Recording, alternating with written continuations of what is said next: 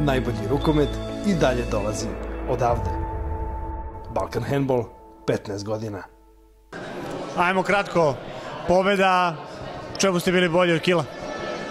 Fuh, teško sad da kažem. E, prvo, prvo polovreme mislim nisu bili golmani na ovom nivoju što smo naviknu, naviknuli. E, a u drugom polovremenu ne znam, možda bolja obrana.